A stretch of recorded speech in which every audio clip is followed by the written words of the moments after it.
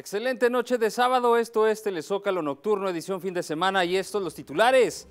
Coahuila exige un trato justo al presidente Andrés Manuel López Obrador durante su visita al Estado en el marco de la puesta en marcha del programa Agua Saludable para la Laguna. Comienza en Torreón la jornada de vacunación masiva de adultos mayores con modelo tejano. Se aplicarán 8 mil dosis en una semana. Se retrasa la llegada del avión supertanker para combatir incendios en las sierras de Arteaga y Santiago. Le tendremos todos los pormenores. Bomberos de Saltillo claman conciencia a la ciudadanía ante oleada de incendios en la mancha urbana de la capital, muchos de los cuales han sido provocados.